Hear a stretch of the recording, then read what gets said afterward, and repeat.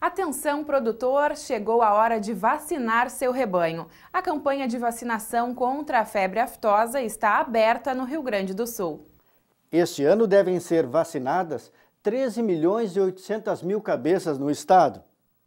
Durante a abertura da Fena Soja, um ato simbólico com autoridades marcou a abertura da vacinação contra a febre aftosa.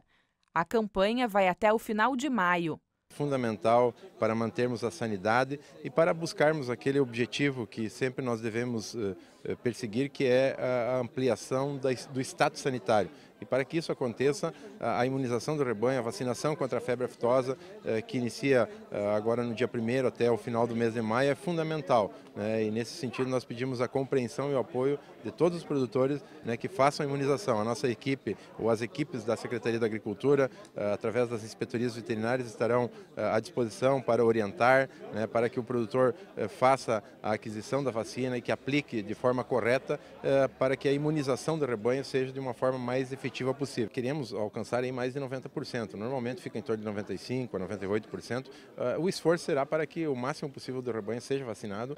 Segundo o secretário, a meta é que até 2020 a vacina possa ser retirada do calendário no estado.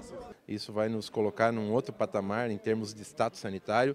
É, claro que para isso acontecer nós precisamos de ações que estamos trabalhando internamente é, no fortalecimento das estruturas, no melhoramento é, das ações é, de defesa é, sanitária. Né, e o próprio Ministério da Agricultura né, tem orientado que até 2020 é, os estados né, se organizem para que a vacina possa ser retirada. Então, nesse sentido é que nós estamos trabalhando e para que isso aconteça, né, o envolvimento, o apoio né, e a a participação de todos os produtores é fundamental.